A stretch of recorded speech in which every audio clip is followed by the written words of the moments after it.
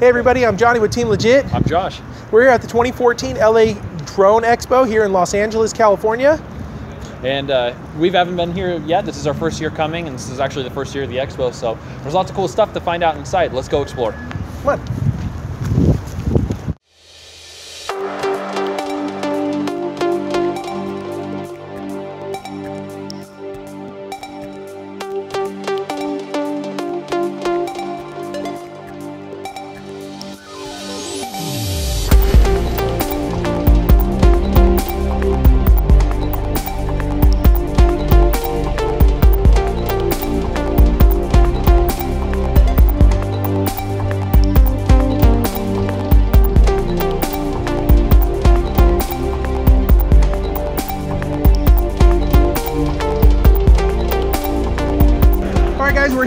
Uh, Drone Expo. We have Tony here from UAVRC. This is our one-stop shop that we head out to when we're in Los Angeles to pick up any of our gear. We got our buddy Fez. We donated him for the day to work out for the uh, the Drone Expo. Tony, how's the turnout here? Uh, it's been really busy here all morning since opening at 10 o'clock. We sold a lot of the mini quadcopters to the parents here trying to get a gift to their kid for Christmas in a couple of weeks. Uh, so far, really good turnout. Uh, everything's been good. Fez has had a lot of success here, answering a lot of questions. This is and man. yeah, we're, we're treating the customers right. So make sure to visit us at uavrc.com. So, what kind of uh, things are people interested in here? Are they going with the typical DJI stuff, or do they like the more uh, unique carbon fiber frames and things like that?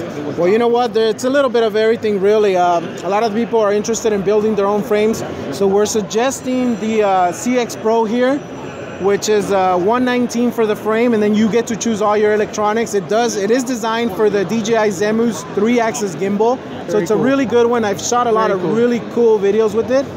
Um, another one that is uh, very popular is going to be the 230, the Mini Racer Quad carbon fiber. On that one, we're running the Cobra 2300 kV motors on a four-cell battery pack. Uh, that one seems to be really good for all the folks that are trying to get into FPV racing. It seems like everybody just wants to get into these little mini quads. So, what makes these things so popular? Why does everybody want these little mini quads? Well, considering the FAA and all the rules and everything that's happening, everybody's, you know, going into the smaller stuff because you're going to get less hassle. Okay. So for one, it's a lot easier to go trans- high altitude, Yeah. things like that. Okay, a lot easier to transport as well. that's true. And uh, I'm looking here.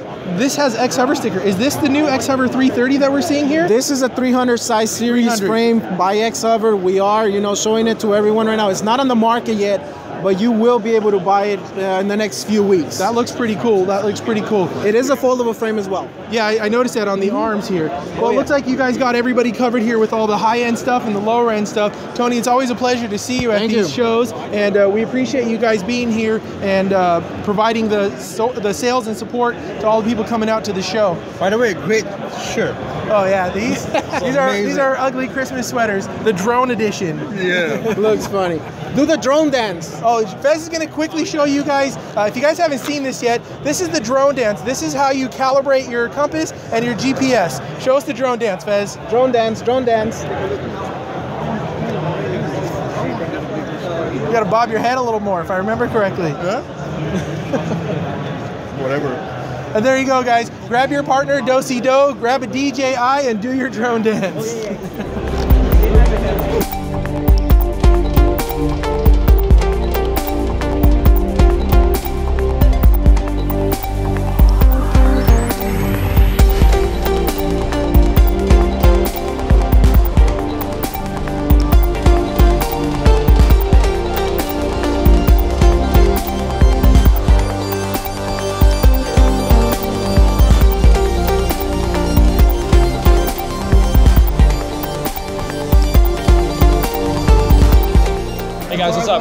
Stan LeBam from FLIR Imaging, and um, we're just checking out some of the new uh, technology they brought to the show today. Um, they've got everything from professional grade quality all the way down to this little teeny micro guy here. So um, we're just gonna ask him a few questions about um, uh, how do you think that um, this is becoming uh, cheaper in the hobby? Is it, is it price coming down? Is it going up? Um, is it becoming more accessible? Uh, price is definitely coming down. Uh, a large part of that is driven by volume and the applications that are being enabled by thermal imaging, which for FLIR range from things like automotive night driving FLIR build sensors that are used in the BMW, Audi, and other other uh, automobiles for pedestrian detection. Um, firefighting is another big application where because thermal imaging cameras can be used to see through smoke, so firefighters can go into a smoke-filled building or burning building and rescue people. Well, Stan, we appreciate your time. Thank All right, you for thank you showing us your cameras. You bet. Thanks for the thanks for the interview. Thank you very much. Hey, we're here at the DJI booth with Randy Braun. Randy I'm the Braun. director of product experience at DJI. How can I help you guys? Well, first of all, I want to say is it's safe to say the Phantom 1 and the Phantom 2 are the most popular out of the box drone solutions. The Phantom 2 Vision Plus would be the most popular out of the box. Uh, the Phantom 1 started the revolution with its GPS enabled uh, stabilization ability. And if, I don't know if you guys still have a Phantom 1 sitting around, they're wonderful to fly, but uh, we came out then a year later with the Phantom 2 Vision, which in which we attached our own camera, uh, and that's opened up a lot of new doors for photographers. The quality of the images is very good, and it's something totally different for people to be able to just hover 30 feet up, 50 feet up, 100 feet up, and see uh, uh, the world from a new angle. We just came out with the Inspire 1. The Inspire 1 is um, also made for professional videography and photography. It's really a crossover between the uh, Phantom line and the Spreading Wings line. Uh, the camera and the gimbal are fantastic. Uh, the camera shoots 4K uh, in several different frame rates. It uh, also shoots, it has a 12 megapixel sensor in it, very good for low light, a little bit bigger, larger pixels. Um, and it's got 18 minute flight time with this battery here, which recharges in generally less than an hour. We got a 4500 milliamp. Okay. Yeah, it's quite a battery. It's an intelligent battery also. It feeds a lot of data back to the drone and to your application that you're looking at, your FPV uh, app. So, what about the flight controller in this? Well, is it just running a Naza new one or is it something else? I will have to ask the uh, the engineers. I believe it's all new. Okay. Um, I don't think it's one of our old flight controllers. So. What kind of flack have you guys seen with uh, FAA and not not so much FAA, but with people like uh, ordinary people coming in and picking up one of these just right out of the box and getting themselves in sticky and hairy situations, crashing into buildings in you know large populated areas, or uh, flying in areas where they probably should use common sense and not fly. What kind of flack have you guys been getting as the company?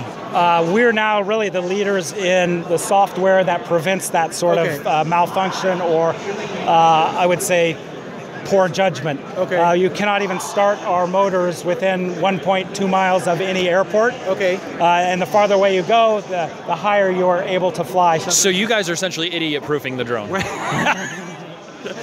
we are doing our best. Awesome. And uh, with all the fail-safe return home features, the smart battery now knows how far away you are, and it calculates how much uh, battery Juice is left. juice is left to tell you, hey, you're too far away. We're running out of juice. You need to come home, or or it'll give you 10 seconds uh, before it starts flying home on its own. Okay. You can override that. So there's a lot of safety built into it, and so we're pretty proud to be uh, in in the lead um, of safe flying.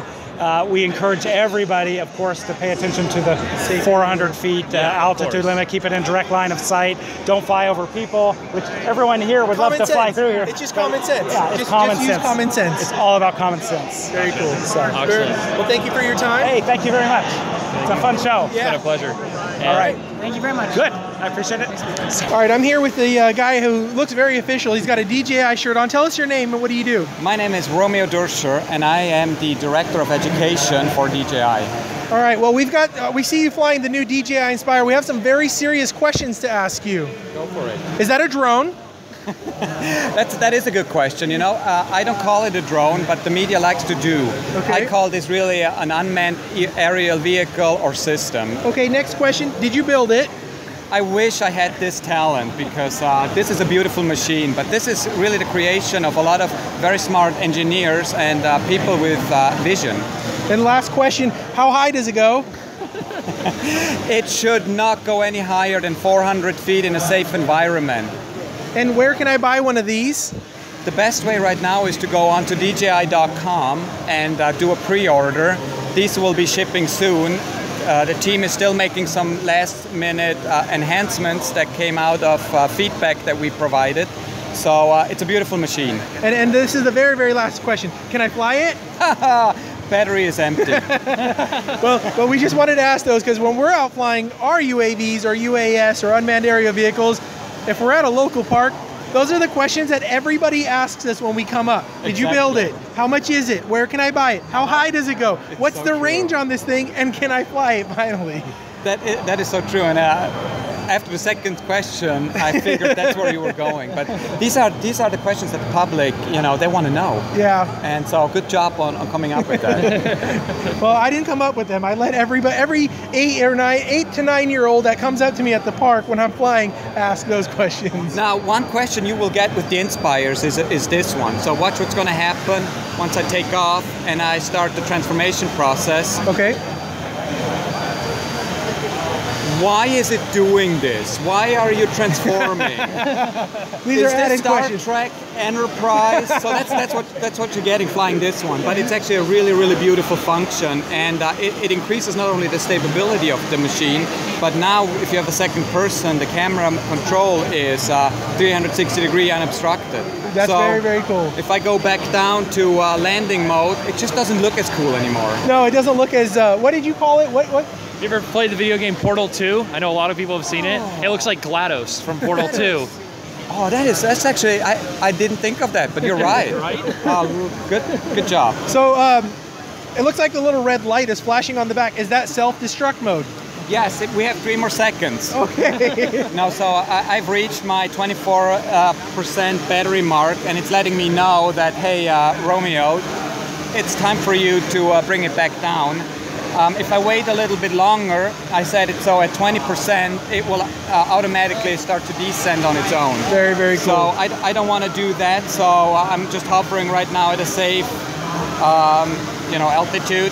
Uh, right now it's using the optical flow to kind of position itself. So Right. on the bottom we have uh, a, a camera as well as like a sonar that, that helps the flight controller with uh, determining the position, altitude, and uh, it helps the user uh, control it when you have no GPS. One of the coolest things that I, I like about the Inspire, and I'm being very blunt, is the higher price tag is bad for me if I wanted to buy it personally, but I think it helps detour those people that go pay $500 and pick up a Phantom and they end up smashing into the side of a building or flying over crowded areas. I think the higher price tag would make somebody think twice before buying this product and going out and flying it and putting themselves and other people in jeopardy. What do you think about that? Well, definitely. That, that that wasn't the intention, though. But what, what, what our intention is, and that's where I will come into play, is uh, education is key. Correct. It's not only educating the end user who's going to fly this, but the public,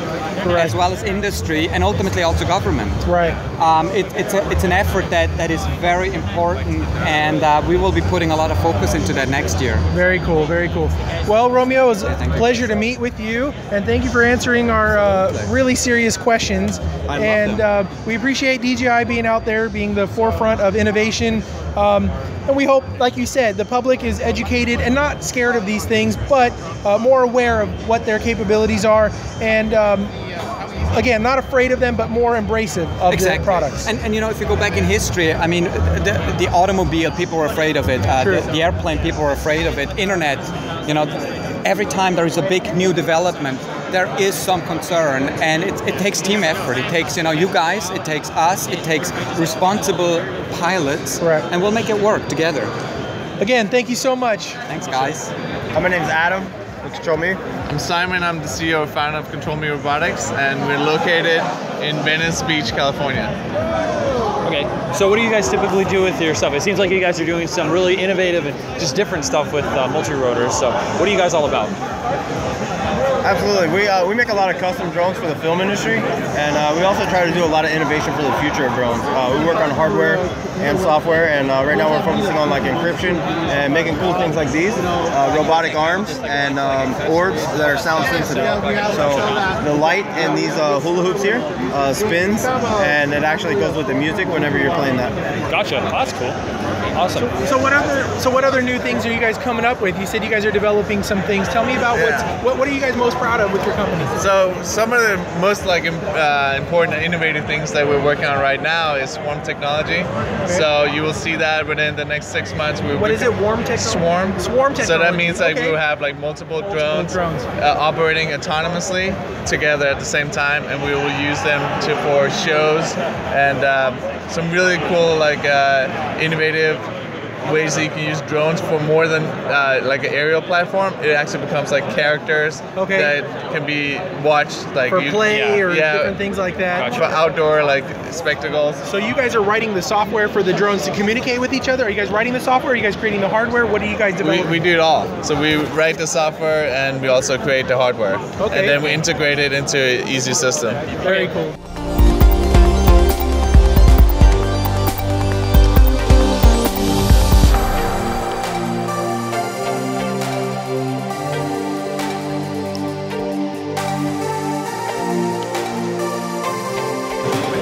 Right, guys, we're here with Ruben. This is our competition, but he's also our good friend. Ain't And no competition. Yeah, exactly, exactly. Uh, Ruben builds some of the greatest uh, foam wings that we've seen out there as well. He's got the Juggernaut, and that's the Flinch. Flinch. The runt, The Runt. the behemoth, and the dreadnought. That thing is just huge. Uh, I'm thinking about getting one of those and mounting a car seat to that. Since I'm expecting a baby here soon, I think that can carry what nine, ten Oh, pounds. congratulations. Yeah, yeah. Thanks. So, Ruben, tell us a little bit about your company and tell us about uh, the success of Sweet Wings. Uh, let's see. Um, I started about two years ago. Uh, was buying everyone else's wings. I was like, man, they're not cutting it. Um, they're too thin. Tip stall. It's like, what will it take to, to make my own? So I started tracking down the EPP, which is a pain. And it's hard to find. Oh my God. And it's not cheap.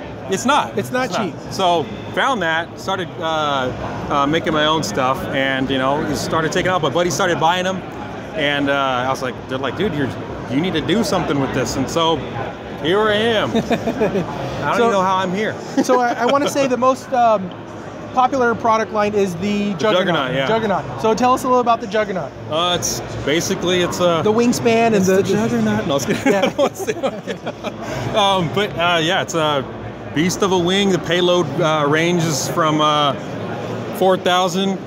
Can you see me? Is yeah, this- we got our my bodyguard right here blocking the shot. The um, payload from 4,000 to 6,600.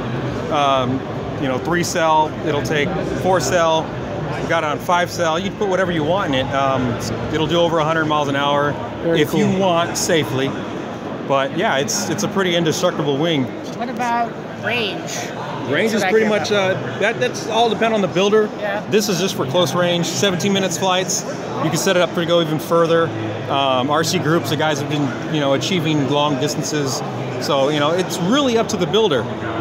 Um, different combinations. This is totally up to uh, whoever wants to create it.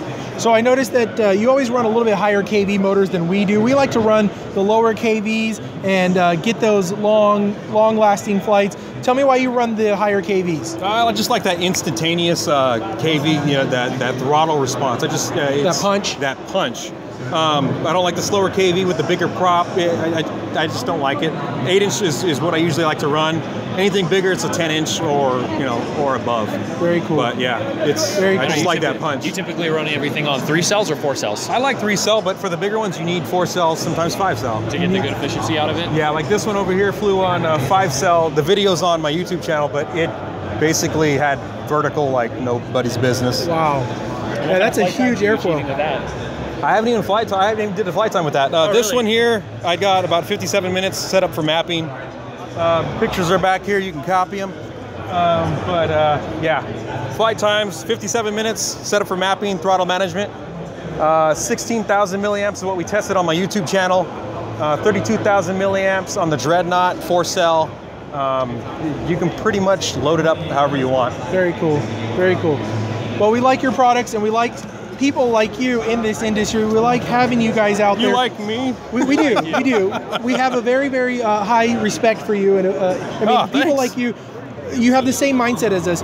You couldn't find something that fits you, Yeah. so you went out and you created your own. Yeah. And we, we like that inspiration of that. I got a question. When's the uh, legit wing uh, sweep wing shootout? Oh well, I, I've been tur- Competition. I I haven't been uh, responding to that because I don't want to like uh, make you guys feel bad. No, I was Uh-huh. kidding. well, well, with our product line, uh, the reason that we created the- the smaller wing is we live in Los Angeles. Are you still rolling? Yeah. Oh, sorry. Okay. Sure. I I don't know. You went down. All right. We're gonna we're gonna just roll from there. Yeah. So uh, with that, the, the, we created the smaller legit wing, the smaller airfoil, because we live in Los Angeles. Yeah. I know you guys are up in Northern California. You have loads Oh, and loads yeah. of room. But with us, for us to get somewhere, it takes about an hour, hour and a half drive just to get somewhere to fly. Yeah. And uh, loading up the car with a bunch of big, huge airframes, which is which is a great thing, doesn't work for us. So what we like to do is um, we have the smaller ones, so we can fit a bunch of them in a little compact car, Yeah, yeah, yeah. and we all pack in my little Honda Civic, and we drive out about an hour or two hours to get those flights. So that's why that was born. You know, you know, the, the thing is, is, is having them that small, you know, is, is nice. And but the bigger ones, a lot of guys, you know, they, it's not like I get approached. They want to do the long range, Right. And I'm like, hey man, they- these bad boys will do it, but can you fit it in your car? Exactly. Exactly. Can Exactly. you do that? Unless you're driving a truck or a van Yeah. something. Josh, hold that one up. That's the uh, behemoth. Hold that one up. Uh, Josh is six and a half feet tall. Look at this So. Yeah. you definitely need a pickup truck to get Yeah. that in your Yeah. car. So that's where we like the smaller ones. But if you Yeah, live yeah. out in the country It- or yeah, you live out north, you know these are awesome yeah, it's to have. huge.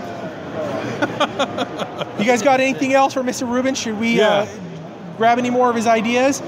I think just it- take. I, I'm, I I'm think just, as soon I'm just wondering where my sweatshirt at, dude. Yeah. You didn't bring Oh, any you- sweatshirts? You got to get with Patrick. What Patrick at the CSFPV. He created these. Uh, Team Legit is a huge sponsor of uh, Patrick, and vice versa. He always hooks us up. So we like Those to rock nice. the latest, Those the are nice. latest of the uh, the gear. All right, Ruben. It was a pleasure All to finally man. put you a guys name have to a that good face. one. This dude's a monster. He is. you guys have a good one. All right. All right, man. Okay, we're here with Wesley from Aerial Media Pros, and he's going to talk a little bit about uh, the show and what uh, they're offering with us today. So aerialmediapros.com is a online web store that offers and, and in-store that offers sales, service, and support for drones, usually for cinematic use and videography. But we also have packages with our Phantom and DJI products that will allow you to be used in industries like uh, real estate and commercial industries, so like that. We see you guys have a lot of impact on the hobby. We see you at every single trade show that we've been to, uh, RCX, or we've Yeah. seen you guys at uh, AMA show, Yeah. and uh, I think this is the first time where I've actually seen you guys sponsor the entire event. Uh, tell us about um, what you think about the turnout and how much you think that how much people have been informed while they've been here at the show. Right. I think from anyone from just had just heard about drones last week to um, a full videography team, they're all here now, and we've been really impressed with the turnout and really happy that we had the opportunity to sponsor with UAVSA, and uh, it's just been a really good oppor- opportunity to get our name out there and get people to learn about our copters and how they can benefit other industries um, in the business world. And uh, which market do you guys think that Aerial Media Pro is mostly targeted to? Is it like the beginners, or is it more of like the high-end, uh, full-scale video movie production companies? We started in the full-scale movie production companies, and we found a lot of success because you, what you can do with the Phantom series now in other industries like agriculture or real estate stuff like that is the same thing that you'd have to spend hundreds of thousands of dollars to do before. And so we're moving into more of a consumer product because that the technology involved in that product you can do great things with. So And uh, one last question: What type of impact have you guys seen from, say, the regulations and the FAA, you know, jumping in and uh, putting stops to a lot of this filmmaking and things like that with use of drones and whatnot? What type of impact have you guys seen? And do you guys have anything on the horizon to help combat that, or maybe help the movie industry and people like that get into doing the aerial footage with the with the drones? Right. So some some of the laws that we actually really support um, lawmaking for it, and think that there it needs to be regulated in some sort of fashion so that we can keep people uh, safely in the air with other aircraft, airplanes, helicopters. It's the same airspace, and so we actually really support it and think that. Um, whether it's moved into more of a private pilot's license or something like that, or you need to have a specific registration for your copter or something like that, we think it's a good idea. Um, we'll see moving forward whether we're able to actually work with the government and see if we can get people using the products well. Right now, we don't have a plan in place, but for sure we'll be reacting and responding adequately. So, uh, what are the plans for next year's show? Um, I think we'll, probably end up doing similar because of the turnout. It's been really good, and I think that this will continue to be a show, hopefully, a show where the big companies release items. Um, we haven't seen much of that today, but I expect if this becomes more of a popular thing, that's going to be this is going to be the place to do it. So. Well, it seems like this is the first year for the Drone Expo here in LA. I really hope this becomes an annual event, and uh, we definitely love to see you guys again. Thank you so much for uh, supporting this uh, show and bringing out a lot of the equipment to let the general public and everybody see. So uh, we'll see you guys next year, Yeah, hopefully. sounds good. Thank you. Thank you.